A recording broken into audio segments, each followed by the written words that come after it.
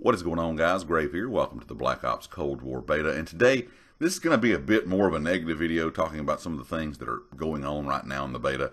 I still enjoyed my experience yesterday. I played for about six hours, but there's a lot of issues. Not saying these issues can't be fixed, you know, during this beta, by next weekend's beta, uh, or, you know, by launch. It's just there's a lot of concerns to a lot of the community right now. You can get on Twitter or Reddit and you can see a lot of these things being talked about.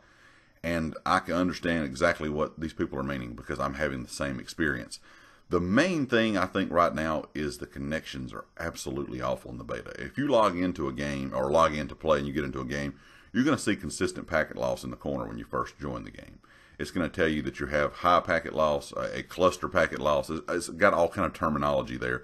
But overall, it's just it feels like a lot of times you're shooting enemies and the bullets just are not registering. You can shoot an enemy five or six times and you watch the kill cam and it's like you never even hit them. Uh, also, the other issue is you can notice sometimes in kill cams, and I've seen a lot of people complain about this in past Call of Duty titles. I've never really had this happen that much where you just get killed with one or two bullets. You watch the kill cam, and it's like they hit you once or twice and you're dead. I never really had that problem too much uh, connection wise in Call of Duty. I mean, here and there over the years, yes. But yesterday, when playing this, like I said, for about six hours, it seemed like it happened just about every single game, where you were just getting melted by someone and you were putting five, six bullets in them, and it was like it was not even registering.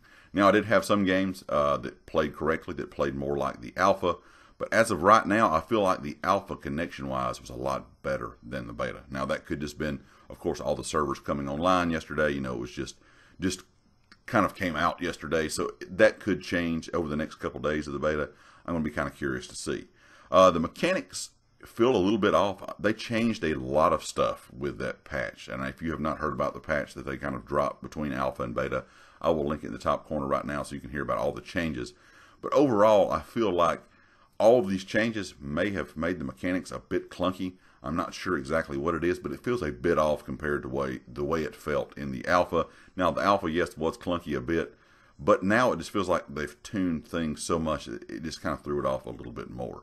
Uh, the FOV is really nice. I'm really looking forward to the field of view slider on next gen console.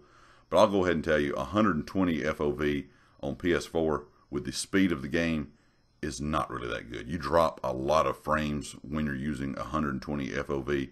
So I just went back to the standard 80 because the game plays a lot better in my opinion at 80. I think it will be good on PS5, Xbox Series X, uh, but on current gen, it does not perform that well. That has always been, you know, people say that that has always been the reason why Call of Duty doesn't have a FOV slider in it because these current generation consoles can't handle it.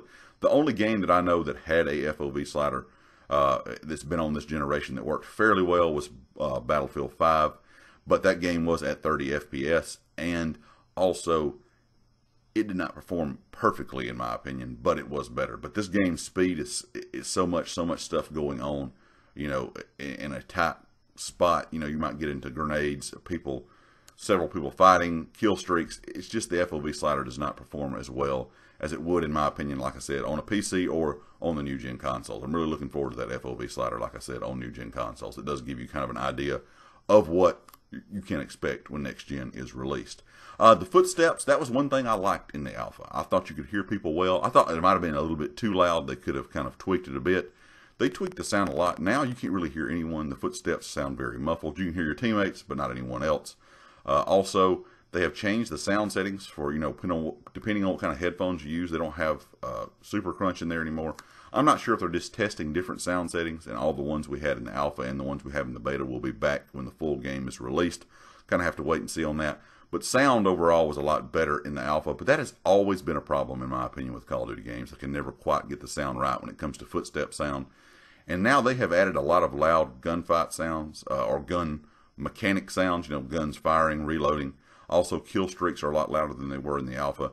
Not quite as loud as they are in Modern Warfare, but it is to that point where if you try to turn up your headphones to hear footsteps, it is a bit too loud and it'll hurt your ears, in my opinion. I'm just not a big fan of that. And last but not least, the sliding and jumping I still think needs to be looked at. I can't tell if the sliding and jumping seems broken still just because the way the connections are. A lot of times you'll have somebody slide by you and it's like they almost skip, and of course that could be lag.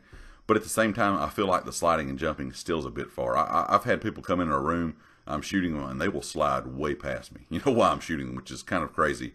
But overall, I know this is going to kind of sound like complaints. I did enjoy my time with the beta, but I think there needs to be a lot of changes, you know, going forward, you know, during this beta, next week's beta, and also going forward to the final release of the game. Of course, the next couple days, I'm going to continue to play and let you guys know even more what I thought, you know, kind of about the beta the more I get into it. But anyway, leave me a comment with your thoughts, and if you liked it, hit the like. If you hadn't subscribed yet, please do so, and I'll catch you next time.